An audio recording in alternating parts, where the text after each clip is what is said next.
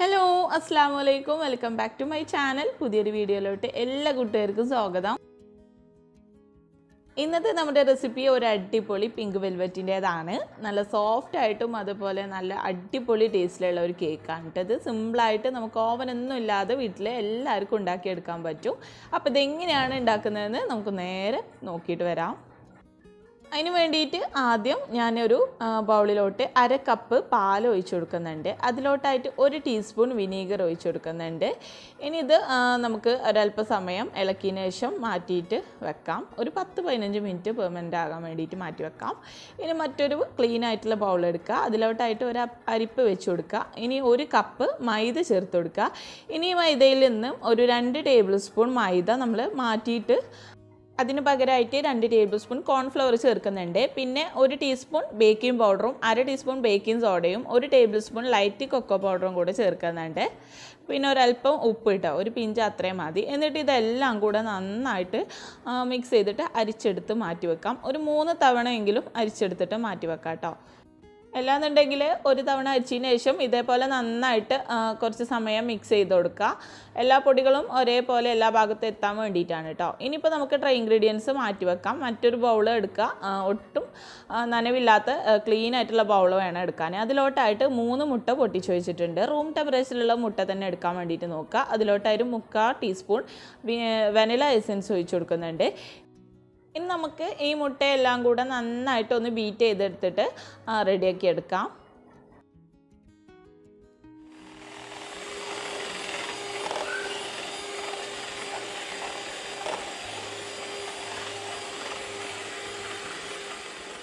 ഇപ്പോൾ മുട്ടയൊക്കെ നന്നായിട്ട് പതഞ്ഞ് വരുമ്പോൾ ഇതിലോട്ടായിട്ട് ഒരു കപ്പ് പൊടിച്ച പഞ്ചസാര എടുത്തിട്ടുണ്ട്. അത് കുറേശ്ശെ കുറേശ്ശെ ആയിട്ട് ചേർത്തിട്ട് നന്നായിട്ട് ബീറ്റ് ചെയ്തെടുക്കാം കേട്ടോ. നല്ലൊരു ക്രീമി ടെക്സ്ചർ വരുന്ന പോലെ അതുവരെ നമുക്ക് ബീറ്റ് ചെയ്തെടുക്കണം. അപ്പോൾ അത് ഇവിടെ റെഡി ആയിട്ടുണ്ട്. ഇനിയിപ്പോൾ നമുക്ക് ബാക്കിയുള്ള ഇൻഗ്രീഡിയൻസ് ഇതിലേക്ക് എന്തൊക്കെയാണ് ചേർക്കുന്നതെന്ന് നോക്കാം. നമ്മൾ നേരത്തെ മാറ്റി വെച്ചല്ലോ പാലും വിനീഗറും ചേർത്ത്. അതിലോട്ടായിട്ട് ഒരല്പം പിങ്ക് കളർ ഉണ്ട് എന്നുണ്ടെങ്കിൽ അത് ചേർത്ത് കൊടുക്കുക ഫുഡ് കളറ് ഞാനിപ്പോൾ എന്റെ അടുത്ത് റെഡ് കളറാണ് ഉള്ളത്. അത് കുറച്ച് മാത്രം ചേർത്ത് കൊടുത്തിട്ടുണ്ട് കേട്ടോ. ഒരു മൂന്ന് നാല് ഡ്രോപ്പ് നമ്മൾ റെഡ് വെൽവെറ്റ് ഉണ്ടാക്കുന്ന സമയത്ത് കൂടുതൽ ചേർക്കുമല്ലോ അതിന് പകരമായിട്ട് ഇത് പിങ്ക് ആയി കിട്ടാൻ വേണ്ടിയിട്ട് കുറച്ച് മാത്രം ചേർത്ത് കൊടുത്തിട്ടുള്ളൂ. അത് നമ്മൾ ഈ ബീറ്റ് ചെയ്ത് വെച്ചിട്ടുള്ള മുട്ടയിലോട്ട് ചേർക്കുക. കൂടെ തന്നെ ഒരു കാൽ കപ്പ് സൺഫ്ലവർ ഓയിലും കൂടെ ചേർക്കുന്നുണ്ട്. അതിനുശേഷം നമ്മളിത് ലോ സ്പീഡിലിട്ടിട്ട് ഒരു രണ്ട് മൂന്ന് സെക്കൻഡ് ഒന്ന് ബീറ്റ് ചെയ്തെടുക്കാം കേട്ടോ. ഒരുപാട് അങ്ങോട്ട് ബീറ്റ് ചെയ്യരുത്. അതിന്റെ പ്ലഫിനെസ് പോവും. പൊങ്ങി വന്നതൊക്കെ താന്ന് പോകാൻ സാധ്യതയുണ്ട്. അതുകൊണ്ട് കുറച്ച് മാത്രം ബീറ്റ് ചെയ്യുക. അതൊന്ന് മിക്സ് ആയി കിട്ടാൻ വേണ്ടിയിട്ട് മാത്രമാണ് കേട്ടോ ഇനിയിപ്പോൾ നമുക്ക് നേരത്തെ അരിച്ച് മാറ്റി വെച്ചിട്ടുള്ള ഡ്രൈ ഇൻഗ്രീഡിയൻസ് ഒക്കെ കുറേശ്ശെ കുറേശ്ശെ ചേർത്തിട്ട് നന്നായിട്ട് മിക്സ് ചെയ്തിട്ട് യോജിപ്പിക്കുക. ഒട്ടും കട്ടയില്ലാണ്ട് വേണം നമ്മളിത് മിക്സ് ചെയ്യാൻ വേണ്ടിയിട്ട്. അതേപോലെ നമ്മൾ പൊടികളൊക്കെ ചേർത്ത് മിക്സ് ചെയ്യുമ്പോൾ കുറേ നേരിട്ട് ഇളക്കരുത്. അപ്പോൾ അത് കേക്ക് പൊങ്ങി വരൂല കേട്ടോ പിന്നെ ഈ മുട്ടയൊക്കെ പൊങ്ങി വന്നത് താന്നു പോയിട്ട് കേക്ക് സോഫ്റ്റ് ആവില്ല. അതുകൊണ്ട് അത് ശ്രദ്ധിച്ചിട്ട് വേണം ചെയ്യാൻ. ഒരേ ഡയറക്ഷനിൽ തന്നെ മിക്സ് ചെയ്യാൻ വേണ്ടിയിട്ട് നോക്കുക പൊട്ടും കട്ടയില്ലാണ്ട് എല്ലാം മിക്സ് ചെയ്തെടുത്തിട്ടുണ്ട്. ഇനിയിപ്പോൾ ഞാനിവിടെ സെവൻ ഇഞ്ചിന്റെ കേക്ക് ടീൻ എടുത്തിട്ടുണ്ട്. ബട്ടർ പേപ്പർ വെച്ചിട്ട് അതിന് മുകളിലായിട്ട് ഓയിൽ ബ്രഷ് ചെയ്തിട്ടുള്ളതാണ്.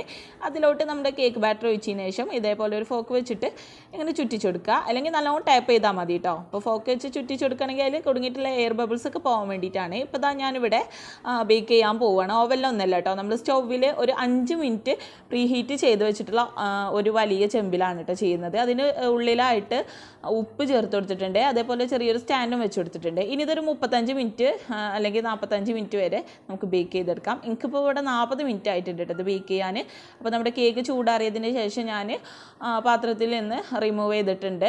ഇനിയിപ്പോൾ നമുക്കത് കേക്ക് സെറ്റ് ചെയ്യാൻ വേണ്ടിയിട്ട് തുടങ്ങാം. ഞാനിപ്പോൾ ടേണിംഗ് ടേബിൾ ഒന്നല്ല എടുത്തിട്ടുള്ളത്. ഒരു പാത്രം കമ്മീത്തി വെച്ചിട്ട് അതിന്റെ മുകളിലായിട്ട് ഒരു പ്ലേറ്റ് വെച്ച് കൊടുത്തിട്ടുണ്ട്.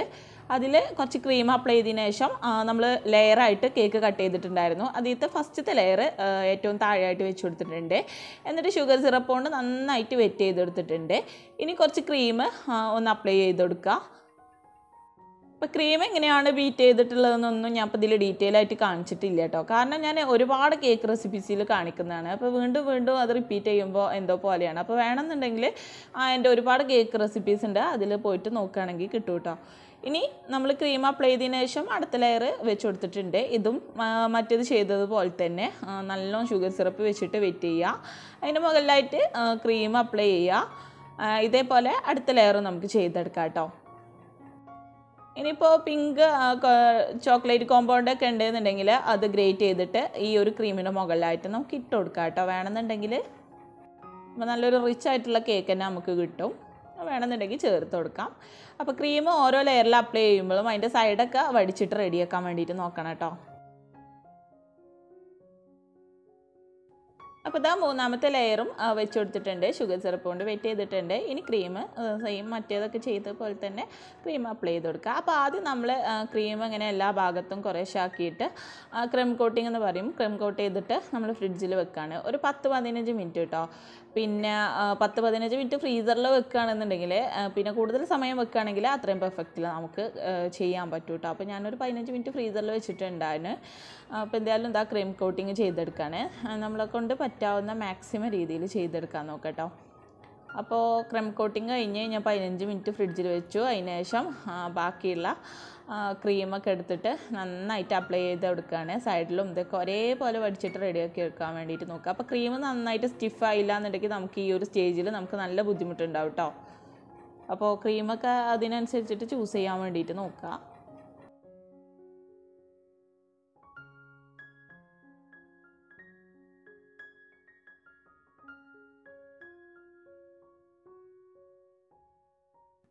അപ്പോൾ ഞാൻ ഒരു വിധത്തിൽ എല്ലാം റെഡിയാക്കി എടുത്തിട്ടുണ്ട്. ക്രീമൊക്കെ അപ്ലൈ ചെയ്ത് കൊടുത്തിട്ടുണ്ട്. ഇനി ഇതിന് മുകളിലായിട്ട് ഞാൻ കേക്കിന്റെ മുകളിൽ നിന്ന് കുറച്ച് ചെറിയൊരു പീസ് എടുത്ത് വെച്ചിട്ടുണ്ടായിരുന്നു. കട്ട് ചെയ്യുന്ന സമയത്ത് അത് ജസ്റ്റ് പാനിലിട്ടിട്ട് ഒരു രണ്ട് മിനിറ്റ് മീഡിയം ഫ്ലെയിമിലിട്ടിട്ട് ചൂടാക്കിയെടുത്ത് അതിന് ശേഷം മിക്സിയിലിട്ട് പൊടിച്ചിട്ടുള്ളതാണ്. ഇതൊരു അരിപ്പയിലോട്ട് ഇട്ട് കൊടുത്തതിന് ശേഷം നമ്മുടെ കേക്കിന്റെ മുകളിലായിട്ട് ഇതുപോലെ അരിച്ചിട്ട് ചെയ്ത് കൊടുക്കുകയാണ് അപ്പോൾ ഇതിന്റെ ഡെക്കറേഷൻസ് ഒക്കെ നമ്മുടെ ഇഷ്ടം പോലെയാണ് കേട്ടോ അപ്പോൾ ഇത് സിമ്പിളായിട്ട് എല്ലാവർക്കും ചെയ്യാൻ പറ്റിയിട്ടുള്ള ഒരു ഡെക്കറേഷനാണ് ഞാൻ അവിടെ കാണിക്കുന്നത്. അപ്പോൾ അത് സൈഡിൽ പ്ലേറ്റിൽ വീണിട്ടുള്ളതൊക്കെ അങ്ങനെ അരികിലേക്ക് കൈ കൊണ്ട് തന്നെ നീക്കി ആക്കി കൊടുത്തിട്ടുണ്ട്. പിന്നെ നമ്മുടെ ക്യാമറയിൽ ഇതൊരു പിങ്കായിട്ട് തോന്നുന്നുണ്ടാവില്ല. ചെറിയൊരു കളർ ചേഞ്ച് തോന്നിയിട്ടുണ്ടാവും കേട്ടോ പക്ഷെ അത് നല്ല അടിപൊളി കളറിലുള്ള പിങ്കാണ് കേട്ടോ പിന്നെ ഇതാ ഞാൻ കുറച്ച് ക്രീം എടുത്തിട്ട് ഇതിന്റെ മുകളിലായിട്ട് ഇങ്ങനെ ഒരു ഫ്ലവർ വെച്ച് കൊടുത്തിട്ടുണ്ട്. അടുപ്പിച്ചടുപ്പിച്ചല്ല വിട്ട് വിട്ടായിട്ടാണ് കേട്ടോ ചെയ്തിട്ടുള്ളത്. പിന്നെ ഡെക്കറേഷനൊക്കെ ഞാൻ പറഞ്ഞല്ലോ. നമ്മുടെ ഇഷ്ടം പോലെ ഏത് നോസിൽ വെച്ചിട്ട് നമുക്ക് നമ്മുടേതായ രീതിയിൽ ചെയ്തെടുക്കാം. പിന്നെ ഇനി എന്തെങ്കിലും എഴുതണം എന്നുണ്ടെങ്കിൽ അങ്ങനെ എഴുതുകയും ചെയ്യാം കേട്ടോ പിന്നെ ഇതിന്റെ ബാക്കിയുള്ള ക്രീം കൊണ്ട് താഴ്ഭാഗത്ത് ഇങ്ങനെ ചെറിയ ചെറിയ പൂക്കൾ നമ്മൾ മുകളിലിട്ടിന്റെ ആ സെയിം നോതിൽ വെച്ചിട്ട് തന്നെ ചെറുതായിട്ട് ഇങ്ങനെ വിടിയിപ്പിച്ചിട്ട് ആ, ചെറിയ ചെറിയ പൂക്കളാക്കിയിട്ട് കൊടുക്കുന്നുണ്ട്. അപ്പോൾ ഇത്രയേ ഉള്ളൂ കേട്ടോ നമ്മുടെ ഡെക്കറേഷന് പിന്നെ അവസാനമായിട്ട് ഞാൻ ഈ പൂക്കളുടെ മുകളിലായിട്ട് സിൽവർ ബോൾസ് ഇട്ട് കൊടുക്കുന്നുണ്ട് കേട്ടോ. അപ്പോൾ ഗോൾഡൻ ബോൾസ് ഉണ്ടെങ്കിൽ നല്ല ഭംഗി ഉണ്ടാവും അപ്പോൾ എന്റെ കയ്യിൽ സിൽവർ ബോൾസേ ഉള്ളൂ. അതിങ്ങനെ കുറച്ച് വിതറി കൊടുക്കുന്നുണ്ട് അപ്പോൾ ഇത്രയേ ഉള്ളൂ കേട്ടോ നമ്മുടെ കേക്കിന്റെ ഡെക്കറേഷൻ ഒക്കെ. പിന്നെ ഡെക്കറേഷൻ കഴിഞ്ഞതിന് ശേഷം നമുക്ക് അത് ഫ്രിഡ്ജിൽ കുറച്ച് സമയം ഒന്ന് സെറ്റ് ആവാൻ വേണ്ടിയിട്ട് വെക്കാം. മിനിമം ഒരു അരമണിക്കൂറെങ്കിലും വെക്കണം കേട്ടോ. ഞാനിപ്പോൾ ഇത് ഇന്ന് ഉണ്ടാക്കി പിറ്റേന്നാണ് എടുക്കുന്നത്. അപ്പോൾ നല്ല അടിപൊളി ടേസ്റ്റ് തന്നെ നല്ല സെറ്റായിട്ട് കിട്ടും കേട്ടോ കേക്ക് അപ്പോൾ എന്തായാലും ഞാൻ ഫ്രിഡ്ജിൽ നിന്ന് പുറത്തെടുത്തതിന് ശേഷമുള്ള ഒരു സീനാണിത് ഇനിയിപ്പോൾ ഇത് നമുക്ക് എങ്ങനെ കട്ട് ചെയ്ത് നോക്കാം കേട്ടോ. ഇത് കട്ട് ചെയ്യുമ്പോൾ തന്നെ നല്ല സോഫ്റ്റ് ആയിട്ടുള്ള കേക്കാണ് കേട്ടോ നല്ല അടിപൊളി ടേസ്റ്റ് തന്നെ ആയിരുന്നു കേട്ടോ കഴിക്കാനും.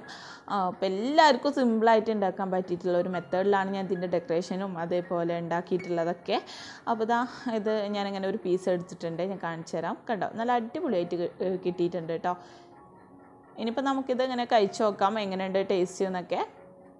സത്യം പറഞ്ഞാൽ നല്ല അടിപൊളി ടേസ്റ്റ് ഉണ്ട് കേട്ടോ പിന്നെ ഈ ബിഗിനേഴ്സിന് പോലും നമുക്ക് ഈ ഒരു കേക്ക് ഉണ്ടാക്കിയെടുക്കാം സിമ്പിളായിട്ട് പിന്നെ ഓവനൊന്നും ഇല്ലാന്നുണ്ടെങ്കിൽ വിഷമിക്കൊന്നും വേണ്ട. നമുക്ക് സിമ്പിളായിട്ട് ഉണ്ടാക്കിയെടുക്കാൻ പറ്റുന്നേ ഉള്ളൂ. നല്ല അടിപൊളി ടേസ്റ്റ് ആൻഡ് എമ്മി കേക്കാണ് അപ്പോൾ എന്തായാലും ഇന്നത്തെ വീഡിയോ നിങ്ങൾക്ക് ഇഷ്ടമായിട്ടുണ്ടെന്ന് വിചാരിക്കുന്നു. ഇഷ്ടമായിട്ടുണ്ടെങ്കിൽ തീർച്ചയായിട്ടും ലൈക്ക് ചെയ്യുക. വീഡിയോ കുറിച്ചിട്ടുള്ള അഭിപ്രായങ്ങൾ താഴെ കമന്റ് ബോക്സിൽ പറയുക അതേപോലെ പ്രീവിയസ് വീഡിയോസൊക്കെ കാണുക. ചാനൽ സബ്സ്ക്രൈബ് ചെയ്യാതെ കാണുന്ന കൂട്ടുകാരുണ്ടെങ്കിൽ പ്ലീസ് ഒന്ന് സബ്സ്ക്രൈബ് ചെയ്യുക. അടുത്ത നല്ലൊരു വീഡിയോ ആയിട്ട് വീണ്ടും കാണാം. അതുവരെ എല്ലാ കൂട്ടുകാർക്കും ബൈ ആൻഡ് Okay. care